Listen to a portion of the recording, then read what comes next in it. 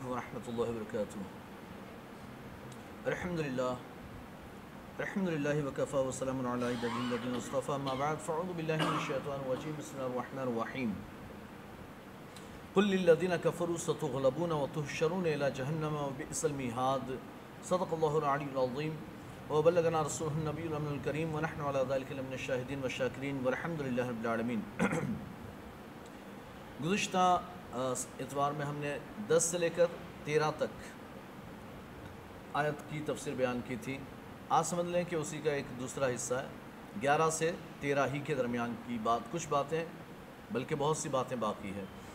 तो कुल्लिन कफ़रू सतुखलबुना आयत नंबर 12 और फिर उसके बाद कदकान लकुम आयतन आयत नंबर 13 इन दोनों के तल्ल से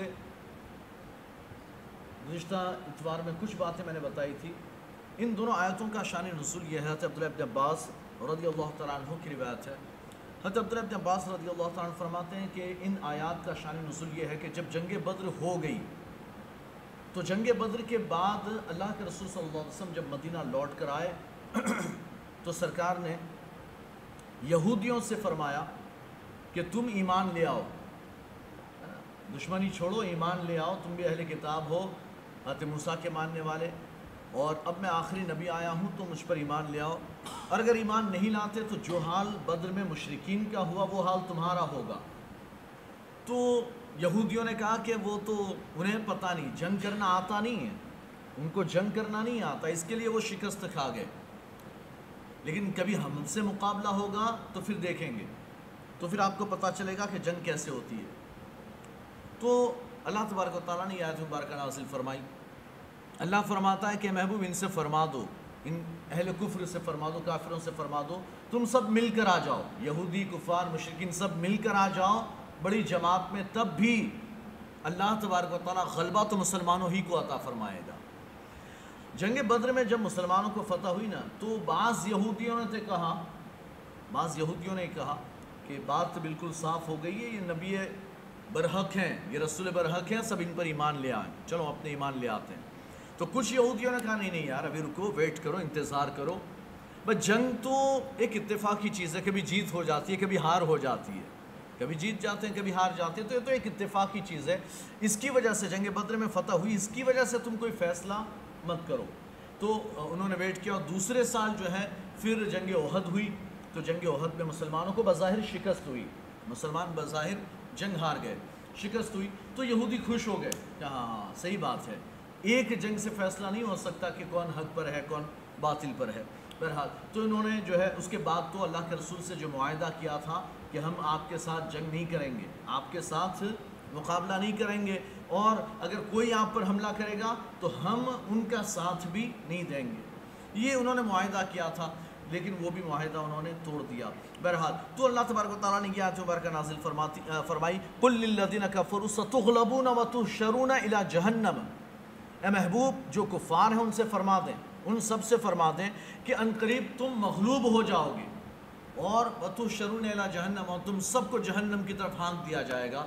अल्लाह एक मखूला है अलकुफ़र मिलत वाहिदा। कुफ्र जो है, वो एक दीन है। कुफ्र एक दीन है। अब वो किसी का भी मानने वाला हो, किसी का भी। हाँ आए बहुत से लोग हैं, वो कहते हैं, मैं तो इसको मानता हूँ, वो कहते हैं, मैं तो इसकी पूजा करता हूँ, कह, मैं तो इसको मानता हूँ, मैं उसको मानता हूँ। तो ईसाई हों, यहूदी हों, या दिगर कुफार मशरकिन हों, कितने भी खुदाओं को मानने वाले और अलग अलग खुदाओं को मानने वाले हों, अल्लाह के सिवा, अल्लाह के सिवा जितने भी मामुदान बातिला की इबादत की जाती है, वो सब एक ही प्लेटफॉर्म पर हैं। वो सब एक प्लेटफॉर्म पर। और फ़िलहाल वो आपस में जुदा जुदा हों। लेकिन जब इस्लाम के ख़िलाफ़ की बात आएगी तो सब एक हो जाएँगे। यहूदियों ने भी ये कहा। इस यानी जंग बद्र के बाद बाकायदा काबिब अशरफ जो है, वो कुफार मशरकिन के पास गया, या जंग अहद के बाद वो कुफार मशरकिन के पास गया मक्का। साठ आदमियों को लेकर यहूदी था, मदीने के करीब रहता था। साठ आदमियों को लेकर मक्का गया और कुफार मशरकिन से कहा कि तुम जंग जारी रखो। तुम इनसे मुकाबला करो, इन पर हमला करो, हम तुम्हारा साथ देंगे। रुपया, पैसा हथियार, खजाना, जो भी चाहिए हम देने के लिए तैयार हैं।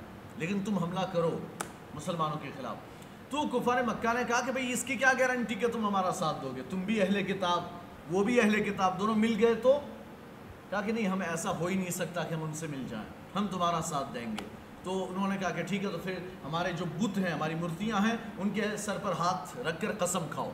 उनकी कसम खाओ तो फिर हम मानेंगे तुम्हारी बात। तो जो उनकी, उनके बुत थे, मूर्ति थी, है ना, उस पर हाथ रखे, लात, बनात वगैरह, उस पर हाथ रखकर उन्होंने कसम काबिब अशरफ ने कसम खाई कि हम तुम्हारा साथ देंगे, तुम्हारा साथ छोड़ेंगे नहीं, तुम उन पर हमला करो। जो भी मदद की ज़रूरत होगी, रुपया, पैसा, माल दौर सब मैं मदद करूँगा। और उसने बहुत मदद भी की, रुपये, पैसे के अतबार से। तो बहरहाल इस तरह से यानी वो कहा कि जब तुम जंग के लिए आओगे तो हम भी अपने किले से निकल कर आ जाएँगे और तुम्हारे साथ लश्कर में शामिल हो जाएँगे। बहरहाल तो ये यानी कि इस तरह इसने जंग उहद के बाद जाकर कुफार मक्का को जंग करने पर उभारा कि तुम वापस हमला करो मदीने पर। एक बार तो शिकस्त उहद में दे चुके हो तो अब तो तुम्हारे पास मौका है, तुम इन्हें शिकस्त दे सकते हो। तो ये जो है, यानी कि उस मौके पर अहले यहूदी अहले किताब थे, लेकिन फिर भी वो कुफार मशरकिन के साथ मिल गए। तो इस एतबार से जब भी इस्लाम के ख़िलाफ़ खड़े होने की बात आएगी तो ये सब एक हो जाएँगे। है ना? आज के ज़माने में भी देखें कि यहूदी और ईसाई दोनों अपने सख्त दुश्मन एक दूसरे के। दोनों एक दूसरे के सख्त दुश्मन हैं, दोनों की बनती नहीं। लेकिन जहाँ इस्लाम के ख़िलाफ़ की बात आएगी तो फिर दोनों मिल जाएँगे। यहूदी और नसारा दोनों एक हो जाएँगे। ईसाई और यहूदी दोनों एक हो जाते हैं, एक प्लेटफॉर्म पर आ जाते हैं। इसराइल वाले जो हैं वो ईसाई हैं। अब आप देखें, फ़िलिस्तीन के मुकाबले में अमेरिका इसराइल का साथ देता है। कभी इसराइल से नहीं कहता कि तू ये हमले क्यों करता है? अगर मिसाल के तौर पर हिंदुस्तान पाकिस्तान पर हमला करे, या पाकिस्तान हिंदुस्तान पर हमला करे, या पाकिस्तान कजाकिस्तान या अफ़गानिस्तान किसी पर हमला करता है यानी कोई मुल्क किसी दूसरे मुल्क पर हमला करता है फ़ौर अमेरिका की आवाज़ निकलती है या दिगर जो ममालिक है उनकी भी आवाज़ निकलती है। क्या? अब भाई तुम जंग क्यों कर रहे हो? एक दूसरे पर हमला क्यों कर रहे हो? नहीं करना, बंद करो, है ना? अमनो शांति से रहो, सुकून से रहो। फ़ौर इनकी आवाज़ आ जाएगी भाई जंग नहीं करनी है। लेकिन इसराइल फ़िलिस्तीन पर हमले करता ही रहता है, एक की भी आवाज़ नहीं निकलती। एक की भी आवाज़ नहीं निकलती। क्यों? इसलिए कि बैतुलमुक़दस यहूदियों के लिए भी मुक़दस है। बैतुलमुक़दस नसरानियों के लिए, ईसाइयों के लिए भी मुक़दस है। दोनों उसके, यानी कि तलब करने वाले हैं। कहते हैं, बाद में हम आपस में देख लेंगे कि किसको लेना, किसको नहीं। ईसाइयों का कब्ज़ा हो या यहूदियों का बाद में देखेंगे। हालाँकि यही यहूदी हैं जिन्हें ईसाइयों ने कत्ल आम किया था। आम लाखों यहूदियों को कत्ल कर दिया था अल्लाह के रसूल वसम के ज़माने से पहले। ईसाइयों ने यहूदियों को कत्ल आम किया और फिर बैतुलमक़दस पर, यानी कि फ़िलिस्तीन पर कब्ज़ा भी किया और उसके बाद कब्ज़ा करने के बाद जो इनका हैकर सुलेमानी था मुसलमानों ने ही तोड़ा। आप मुसलमानों की पूरी हिस्ट्री उठाकर देख लें, मुसलमानों ने जब भी कोई शहर, मुल्क फ़तह किया, ना कोई मंदिर तोड़ा। न कोई गिरजा घर तोड़ा, कोई इबादत खाना किसी भी कौम का हो, किसी भी दीन का हो, मुसलमान तोड़ते नहीं। मुसलमानों ने कभी नहीं तोड़ा।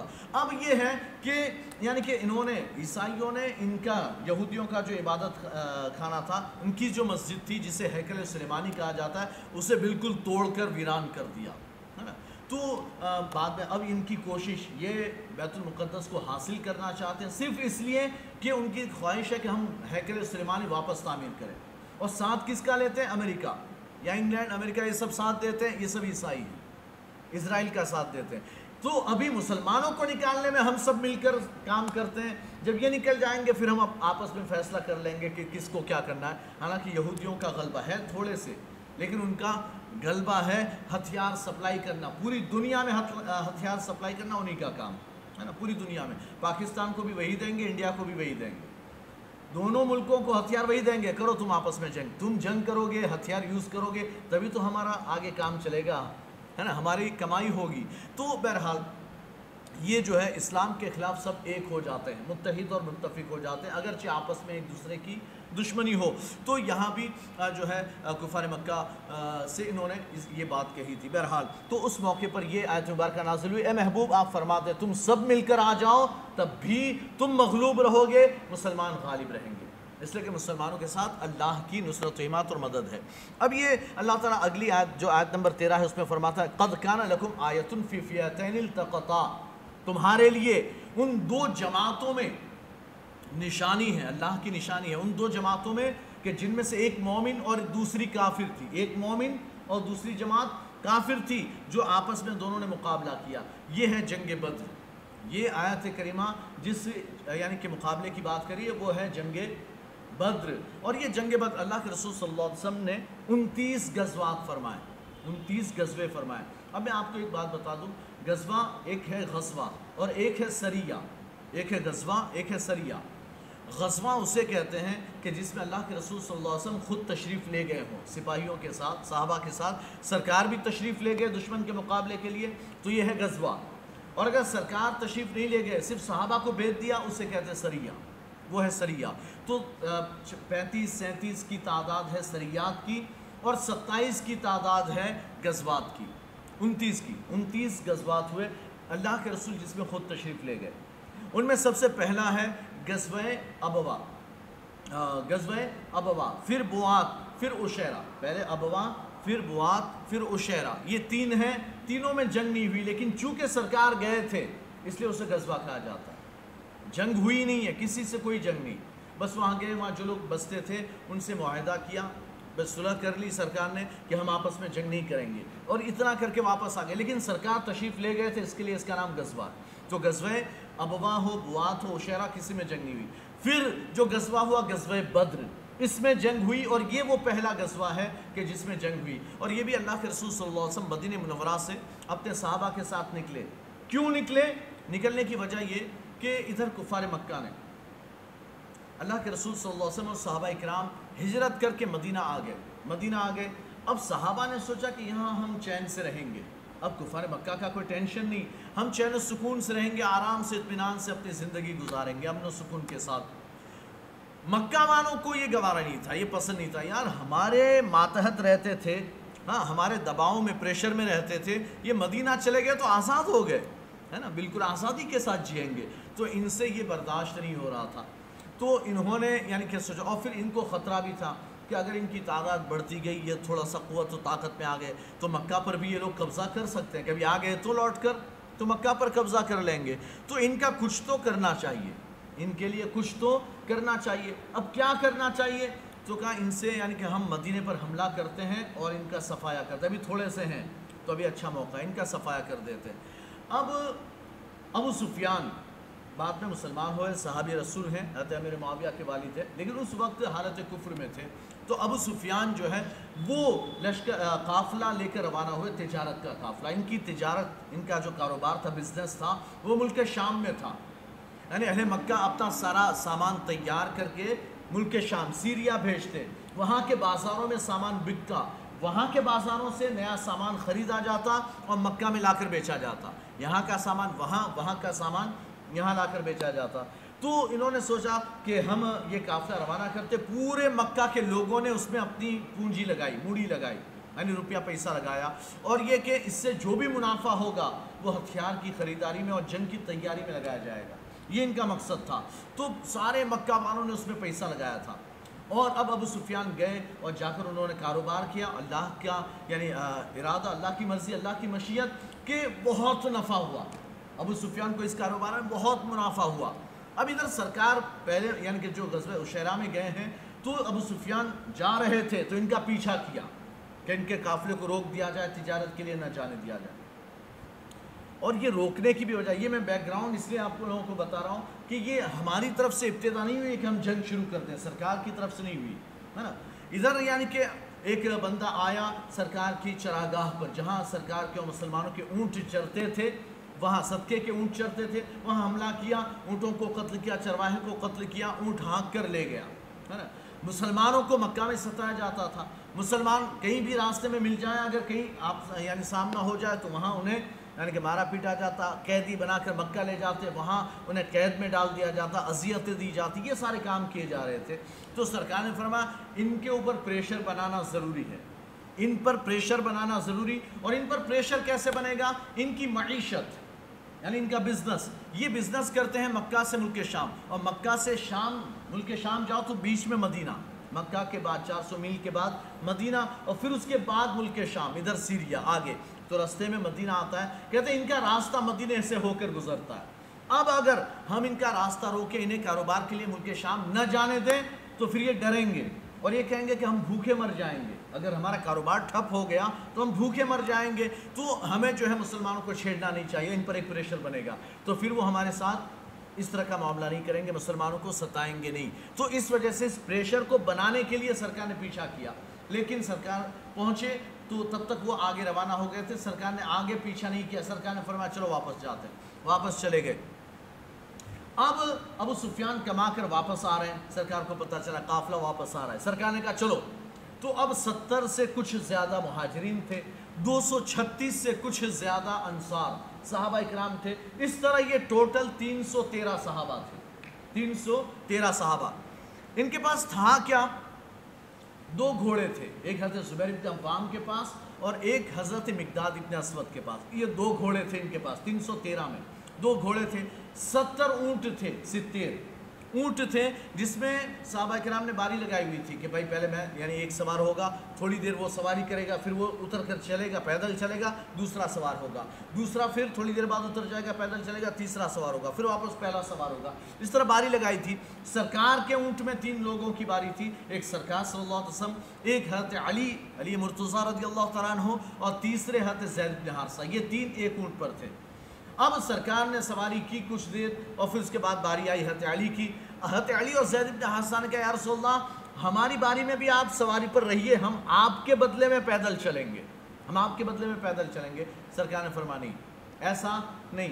हाँ जिसकी जो बारी होगी, वो वैसा ही सवारी पर सवार होगा। जिसकी पैदल चलने की बारी होगी, वो पैदल चलेगा। बहरहाल, ये बारी बारी सवारी पर सत्तर ऊँट थे, सिर्फ़ सत्तर ऊँट। और उसमें से जो है, अगर भूख लगी तो उसी में से काट कर खाने भी हैं। उसी में से काट कर खा लें। तो एक ऊँट में अंदाजन, तकरीबन जो है, सौ आदमी खा सकते हैं। एक ऊँट में सौ आदमी खा सकते हैं। तो अब ये जो है सत्तर ऊँट थे, दो घोड़े थे सिर्फ़, और इनके पास छः जिरहें थी। छः जिरहें यानी वो जो ज़िरा पहनते हैं यहाँ पर, लोहे की, वो छः लोगों के पास थी। आठ तलवारें थी। तलवारें आठ थी, सिर्फ़ आठ, तीन सौ तेरह लोग हैं। आठ तलवारें हैं, उसमें भी जंग वगैरह लगा हुआ है, इतनी मज़बूत और इतनी तेज़ नहीं है। इतना, और ये लोग रवाना हुए। और क्यों इस हाल में रवाना हुए? हमको तो सिर्फ़ काफिले को रोकना ही है ना। कोई जंग वंग तो करनी नहीं, तिजारत का काफिला है। तो कोई ज़्यादा परेशानी, कोई मसला नहीं है। बस रोक लेना है उसे रास्ते में। अब ये निकले। तो अबू सुफियान ने भी सरकार ने अपने दो जासूस भेजे। हत तलहाब उबैदुल्ला और एक दूसरे साहबी थे। इन दोनों को सरकार ने रवाना फरमाया कि हत नाम अभी जहन में नहीं हत तलहाब उबैदुल्ला एक और साहबी थे। इन दोनों को भेजा कि तुम जाओ और देखो काफिला कहाँ है। है ना? आगे जाकर तलाश करो। हम, यानी पूरा 313 लोग चल रहे हैं। दो को स्पीड में भेजा कि जल्दी से देखो कहाँ है और तलाश करो पूरे रास्तों में। और अबू सुफियान ने भी जासूस भेजे हुए थे। उन्होंने पता लगा लिया कि मुसलमान निकल चुके मदीने से और आ रहे हैं हमारी तरफ़। हमारा रास्ता रोकेंगे।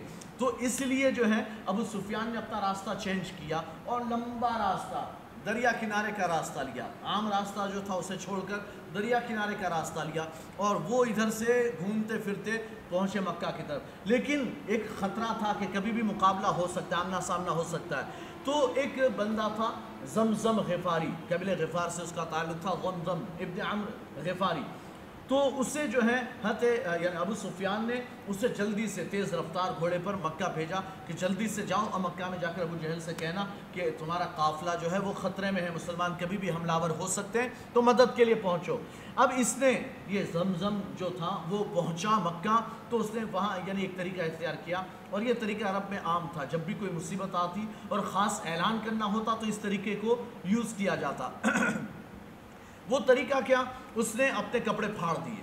अपने कपड़ों को फाड़ दिया। अपने नाक, यानी ऊँट की नाक को काट दिया, है ना? और वो झंडा अपने फटे हुए कपड़ों का झंडा बनाकर लहराना शुरू किया। और क्या चिल्लाता जाता था अलखौस अलखौस मदद मदद मदद, है ना? अब सारे लोग जमा हो गए। कहीं क्या हुआ? तो उसने कहा कि अबू सुफियान ने मुझे पैगाम लेकर भेजा कि अपने काफिले की मदद करो और बचाओ। वरना मुसलमान कभी भी हमला कर सकते हैं और काफ़िला जो है लुट जाएगा, वो ख़त्म हो जाएगा।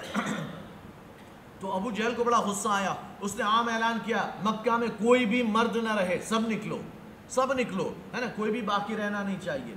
अब यहाँ से मक्का से जो है, ये सारे लोग निकले, साढ़े नौ सौ मर्द थे, साढ़े नौ सौ लोग। ये रवाना हुए साढ़े नौ सौ।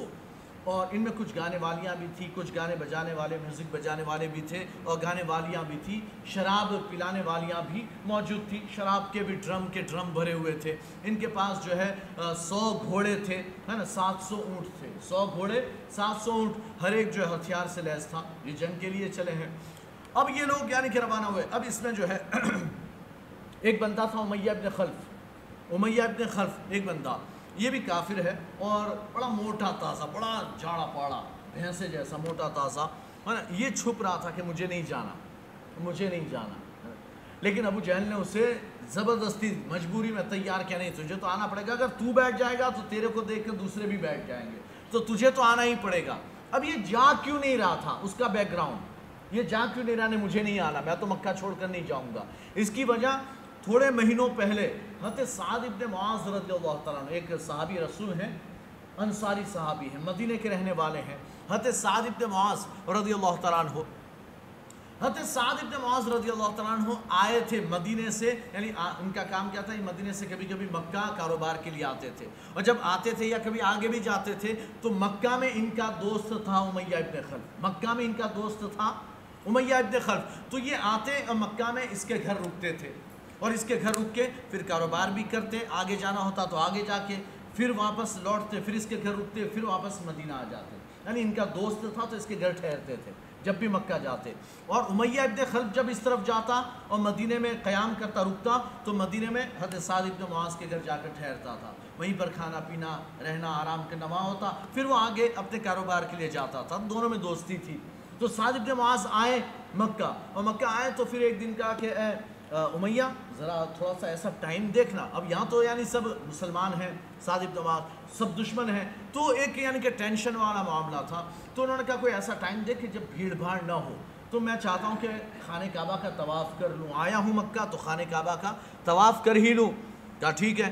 तो भर दोपहर में, बिल्कुल दोपहर के वक्त जब सख्त गर्मी थी, उस मौके पर बाज़ार में थोड़ा ठंडक, लोग जो है खा पी कर अपने अपने घरों में, है ना, धूप से बचने के लिए घरों में आराम कर रहे हैं। तो ये मौके पर सन्नाटा छाया हुआ है खाने काबा के पास। तो उमैया अपने खल्क ने कहा ये वक्त अच्छा है, मुनासिब है। चलो, इस वक्त में तुम तवाफ़ कर लो। कहा, ठीक है, चलो, अब दोनों गए। हत साद इब्न मास तवाफ़ काबा कर रहे हैं।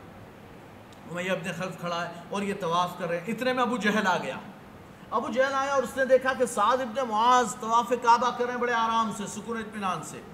तो उसने कहा, अबू जहल ने आकर कहा, ए उमैया ये कौन है? ये कौन है? अबू सफ़ान उसके कुन्नियत है क्या ये कौन? ये तो मुझे वो, ये तो वो है ना, मदीने वाला, कि जिसने बद यानी बददीनों को, बददीन से मुराद सरकार सल्लल्लाहु अलैहि वसल्लम और साहबा इकराम, है ना, जो महाजरीन है। बददीन, यानी हमारा दीन छोड़कर जो लोग गए उनको पनाह दी है। तो यानी ये कि ये तो नए दिन वाला है कहाँ मेरा दोस्त है तो तवाफ़ काबा करना चाहता था, मैं ले आया।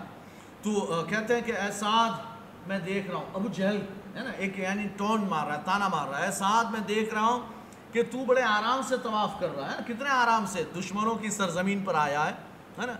और हमारे दुश्मनों को पनाह भी दी है मदीने में, और उसके बावजूद भी यहाँ खुलेआम बड़े आराम से तवाफ़ कर रहा है है ना? तुझे लगता नहीं है कि वापस तू जा नहीं सकता, है ना? या तेरे साथ कुछ हो जाए? तो हज़रत साल माज ने कहा, अगर तुम रोको मुझे तवाफ़ काबा से रोको तो फिर तुम भी, तुम्हें भी पता होना चाहिए। हाँ आवाज़ थोड़ी बुलंद करके बोले, तुम्हें भी पता होना चाहिए, तुम्हारी तिजारत का रास्ता हमारे मदीने से होकर गुजरता है। हाँ सब कारोबार बंद करवा दूँगा, ठप हो जाएगा। अब ये धमकी दी और आवाज़ थोड़ी बुलंद थी। तो उमैया अपने खर्च करता है साथ साथ ऐसा ऐसा धीरे धीरे या ऐसा मत बोलो, वो सरदार है। अबू जहल जो हमारा सरदार है, ऐसा मत बोलो, इतनी बुलंद आवाज़ से नहीं। तो हत साद इब्न मुआज कहते उमैया, तू तो रहने दे, तू कुछ बोल ही मत। ए, उमैया, तू तो कुछ बोल ही मत। इसलिए कि मैंने अल्लाह के रसूल सल्लल्लाहु अलैहि वसल्लम को फरमाते सुना अन करीब वो तुझे कत्ल कर देंगे। अन करीब वो लोग तुझे कत्ल कर देंगे। मैंने सरकार को फरमाते हुए सुना। क्या वाकई? कहाँ। तो क्या कहाँ पर? मक्का ही में? कहते, वो मुझे नहीं पता कि कहाँ कत्ल करेंगे, लेकिन तुझे कत्ल करने का सरकार ने फरमाया कि अन करीब उमैया इतने खल्फ कत्ल हो जाएगा। अब इसको डर लगा। देखें, है ना? आजकल बहुत से ऐसे लोग हैं जो ये समझते हैं कि सरकार को कोई इल्म नहीं, इल्म गैब नहीं, कुछ पता नहीं।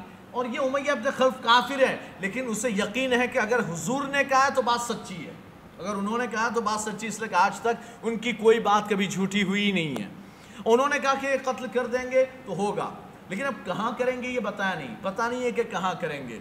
तो उसने अपने घर जाकर अपनी बीवी करीमा नाम था उसका, उससे कहा कि तुम्हें पता है मेरे दोस्त साहब ने मुझसे क्या कहा? वो मदीने वाले दोस्त ने क्या कहा? कहा, क्या कहा? उसने कहा कि मोहम्मद सल्लल्लाहु अलैहि वसल्लम, उनका ख्याल ये है, उनका कहना ये है कि वो मुझे कत्ल कर देंगे। और मैंने पूछा, कहाँ? मक्का में या कहीं और? तो उन्होंने कहा कि वो उनको पता नहीं है। तो मैं कसम खाकर कहता हूँ, मैं मक्का छोड़कर कहीं जाऊँगा ही नहीं। मैं मक्का से बाहर निकलूँगा ही नहीं कि किसी के हाथ आऊँ और कत्ल हो जाऊँ। तो ये बंदे ने कहा हुआ था, अब अबू जहल ने ज़बरदस्ती की कि नहीं, आना ही पड़ेगा? तो मैं अपने खल मजबूरी में चला। तो बीवी ने कहा, करीमा, जो उसकी बीवी थी, उसने कहा शोहर, भूल गए? मैया भूल गए? तुम्हारे मदीने वाले दोस्त ने तुमसे क्या कहा था? क्या भूला नहीं? याद है मेरे को। और मैं तो जाना चाहता ही नहीं, लेकिन ये अबू जहल जो है वो ज़बरदस्ती ले जा रहा है। लेकिन मैं भी ट्रिक आजमाऊँगा। मैंने तेज़ रफ्तार सवारी ले ली अपने साथ। जहाँ कहीं, यानी ये लोग ठहरेंगे थोड़ा चलेंगे, आराम करेंगे, खाएँगे पिएँगे तो जहाँ ये रुकेंगे और मुझे मौका मिलेगा तो मैं भाग आऊँगा। जहाँ मौका मिला, मैं धीरे से छटक कर आ जाऊँगा, भाग कर आ जाऊँगा। तो तेज़ रफ्तार सवारी भी ले ली। अब जहाँ पड़ाव करते, ये अपना, दूसरे लोग क्या करते, अपने सवारियों को छोड़ देते, चरने के लिए, ऐसे ही छोड़ देते, है ना? और ये उमैया अपने खर्च छोड़ता नहीं, वहीं बाँध देता। सवारी वहीं बांधता, अपने पास ही और यहीं बैठा रहता। इंतज़ार करता, ये सब गाफिलों को सो जाए, सब लोग सन्नाटा हो जाए और मौका मिले तो मैं धीरे से निकल जाऊँ। लेकिन बद्र तक पहुँच गया, उसको मौका नहीं मिला। बद्र तक पहुँचा, उसको मौका नहीं मिला। अब जब बद्र में पहुँच गए, एक तरफ़ अल्लाह के रसूल सल्लल्लाहु अलैहि वसल्लम यानी 313 साहबा के साथ और एक तरफ़ कुफार मक्का। अबू जहल के साथ साढ़े नौ सौ। अबू सुफियान जो है, वो बचकर निकल गए थे। मक्का पहुँचे, पता चला कि लश्कर रवाना हो चुका है, पहुँच चुका। तो अबू सुफियान ने पैगाम भेजा अबू जहल को कि भाई, आप जो है वापस आ जाओ। उतबा इब्न रबिया जो था, वो इस लश्कर का सरदार था, सिपा सालार था और अबू जहल पूरी कौम का सरदार। तो पैगाम भेजा कि आप वापस आ जाओ, काफ़िला सही सलामत मक्का पहुँच चुका है, अब जंग वंग की ज़रूरत नहीं है। तो अबू जहल ने कहा, जब पहुँच ही गए हैं, और सामना हो ही गया है, इतने से हैं, तीन सौ तेरह, हम साढ़े नौ सौ। हैं तो अब इनका यानी कि काम तमाम ही कर दिया जाए। और मर्द एक बार निकल जाते हैं तो खाली हाथ वापस नहीं जाते। तो अब तो लड़ाई हो ही जाए, मुकाबला हो ही जाए, वापस नहीं जाना। अब उमैया अपने खल्फ है और कुछ दूसरे लोग हैं, वो क्या कह रहे हैं? अच्छा उतबा जो सिपा सालार है, वो भी कह रहा है, अबू जहल, चल। हालाँकि उसका नाम तो हकम इब्न अमर इब्न हिशाम है, उसका नाम अमर इब्न हिशाम। और कुफार उसे अबुल हिकम कहते थे, यानी बड़ा अक्ल वाला। लेकिन सरकार ने उसका नाम अबुल जह, अबू जहल रख दिया, जहालत, जाहिलों का बाप, है ना? तो बहरहाल उसने, यानी उन्होंने कहा अम्र, या ए अबुल हकम, अब चलो, वापस चलो, नहीं करनी अपने को जंग। है ना? सिपा सालार कह रहा है, उमैया अपने खल्फ कह रहा है, भाई चल ना, अब क्यों जंग के लिए तू बात कर रहा है? छोड़। अबू जल कहता, नहीं, अब आ ही गए हैं, और देखो इतने से हैं, कोई मसला नहीं है ज़्यादा। हाँ हम तो बस एक यानी चुटकी बजाते, इनका काम तमाम कर देंगे तो अब तो जंग करके ही जाएँगे। तो बहरहाल, दोनों ठहर गए। अब उधर यानी कि इतफाक ये था, अल्लाह की मर्ज़ी कि मुसलमान जहाँ पर ठहरे थे, वो रेत थी। सहरा, रेत थी, है ना कि रण था, रेत थी तो वहाँ पैर धंसते थे। चलने में परेशानी, पैर धंस रहे हैं। स्पीड से चला भी नहीं जाता। और कुफार जहाँ पर ठहरे थे, वो बिल्कुल सपाट ज़मीन थी। आराम से घोड़े ऊँट, यानी कि घोड़े भी चल सकते थे, इंसान भी आराम से दौड़ सकते थे बाकायदा। वहाँ चलने में कोई परेशानी नहीं। और सहाबा और सरकार जहाँ रुके, वो रेत का इलाका था, पैर धंसते थे, पैर, यानी चलने में भी परेशानी थी। फिर अल्लाह तबारक ने अच्छा और फिर ये कि वो बड़े यानी कि उन्होंने पानी वगैरह का भी इंतज़ाम कर लिया। और हालाँकि सरकार ने भी कुओं पर कब्ज़ा किया था और पानी के मशकीज़ें सबने मुसलमानों ने भर लिए थे। लेकिन ये परे, परेशानी थी प्रॉब्लम था रेत। तो अल्लाह ने पानी यानी बारिश नाजिल फरमाई। बारिश नाजिल फरमाई। तो हाल ये हुआ कि यहाँ ये जो रेत थी वो जम कर कड़क हो गई। रेत पर पानी पड़ा तो वो जमकर बिल्कुल सख्त हो गई। अब उस पर चलना आसान हो गया और वो जो ज़मीन, सपाट ज़मीन थी, उस पर बारिश गिरी तो वहाँ कीचड़ हो गया। पैर फिसल रहे थे, पैर फिसल रहे थे। ऐसा हाल उनका हो गया बहरहाल। अब जो है दोनों लश्कर आमने सामने हो गए। अब तो ये सहाबा कराम जो बिल्कुल बेसर सामान थे, इनके पास कुछ नहीं था। इन्होंने जब देखा साढ़े नौ सौ का अच्छा सरकार ने पूछा, भाई इनकी तादाद कितनी है?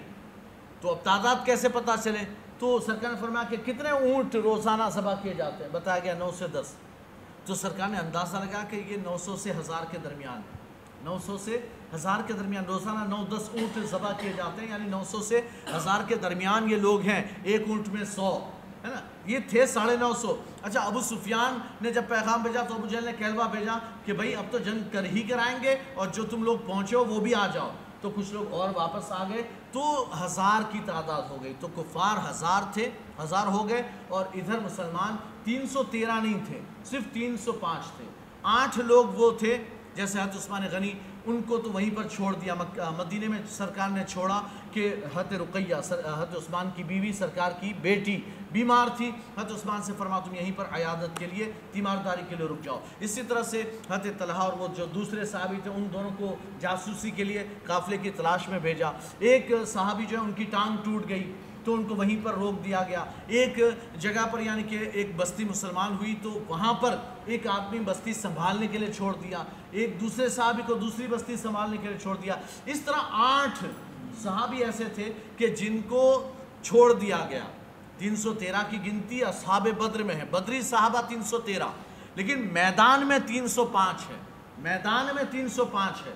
तो ये 305 वहाँ हज़ार का लश्कर और ये बारह को, बारह तारीख को, यानी बारह रमज़ान बारह रमज़ान को सरकार निकले थे मदीने से, इतवार का दिन था। और अब सत्रह रमज़ान को मैदान बद्र में, यानी कि सोलह रमज़ान को पहुँचे हैं और सत्रह को जंग हुई है। तो सोलह रमज़ान जो है, ये जुमेरात का दिन है। सत्रह रमज़ान, योमुल फुरक़ान, ये जुमा का दिन था। जुमा का दिन, सत्रह रमज़ान, है ना? और आज पंद्रह अगस्त है ना? हाँ आज 15 अगस्त है और 15 अगस्त जो है ना ये यानी जंग आज़ादी 15 अगस्त उन्नीस सौ सैंतालीस को हुई तो वो भी रमज़ान का महीना था और सत्ताईसवीं शब थी सत्ताईसवीं रमज़ान।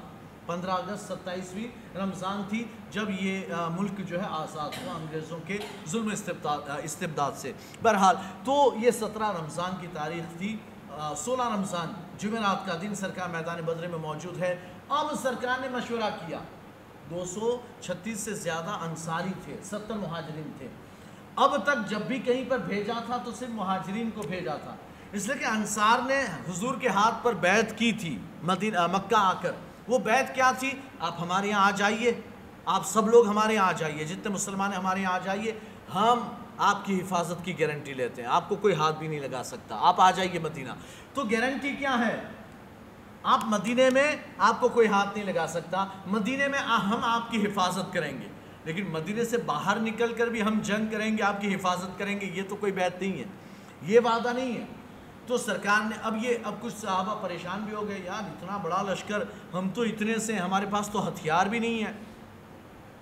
साहबा से सरकार ने रात के वक्त मशवरा किया, शाम को। है ना? जुमेरात के दिन शाम को मशवरा किया सारे साहबा को जमा किया। अब मशवरा किया तुम लोग क्या कहते हो? जंग करनी चाहिए कि नहीं? तुम्हारे सामने देखो लश्कर है कुफार मशरकिन का। एक हज़ार का लश्कर तुम थोड़े से हो। तुम बताओ तुम्हें क्या कहना है?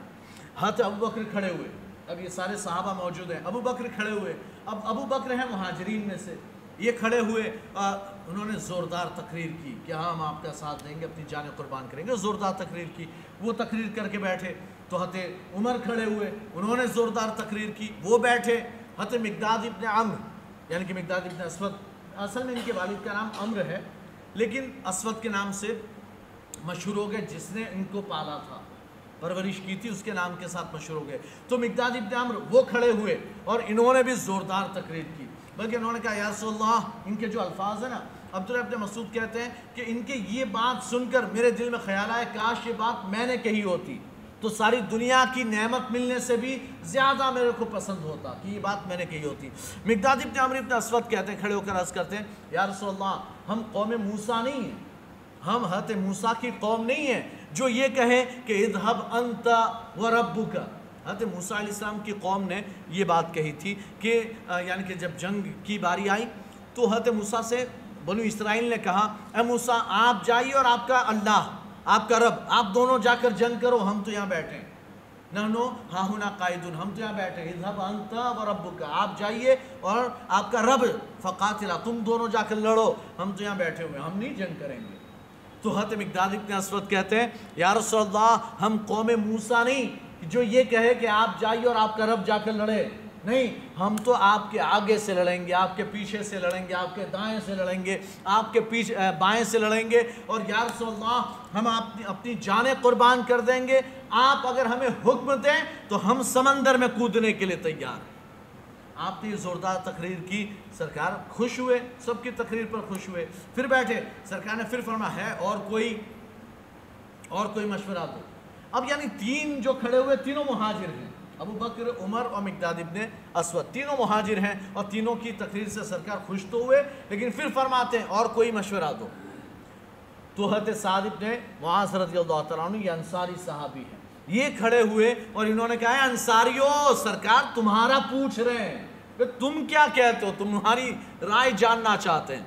फिर हत साद इब्ने मुआज ने ज़ोरदार तकरीर की और कहा यार अगर आप एक जगह का नाम है बरकुल खेमान तो अर्ज़ के अरसल्ला आप अगर हमें बरकुल गिमात तक ले जाएँ तो हम वहाँ तक भी जाने के लिए तैयार हैं. अब ये बरकुल गिमात जो है, समंदर के पार जगह है। यानी आप वहाँ तक भी ले जाएँ तो हम वहाँ तक भी जाने के लिए तैयार हैं। हम आपका साथ छोड़ेंगे नहीं। जब ये कहा, फिर साद इब्न उबादा, उसैद इब्न हुसैर, ये अंसारी साहबा, सरदार थे अंसार के, ये खड़े हुए, इन्होंने तकरीरें की और सारे अंसार ने कहा, बिल्कुल हम साथ देंगे। तो फिर सरकार ने कहा अलहमदिल्ला अब ठीक है। मामला अब ठीक है, इसलिए कि अब तक एक सवाल था कि अंसार लड़ेंगे कि नहीं लड़ेंगे। मदीने में नहीं है, मदीने के बाहर हैं। तो यहाँ साथ देंगे या नहीं देंगे? इन्होंने कहा, हम साथ देंगे। सरकार ने कहा, ठीक है। अब पूरी रात माहौल ये है कि वहाँ गाने बज रहे हैं, औरतें गा रही हैं, डांस करने वाली, यानी नाचने वाली, ना नाच कर गा रही है, बजाने वाले बजा रहे हैं, और शराब पर शराब पी जा रही है। वहाँ ये हाल है। और जश्न मनाया जा रहा है। और पहले ही से एक, यानी कि खुशी का माहौल है। इनके सामने तो अपने बिल्कुल हज़ार हैं, वो इतने से हैं। ऐसे ही हम तो मसल देंगे। तो जश्न मनाया जा रहा है और इधर इधर पूरी रात अल्लाह के रसूल सल्लल्लाहु अलैहि वसल्लम ने इबादत में गुजारी है, दुआओं में गुजारी।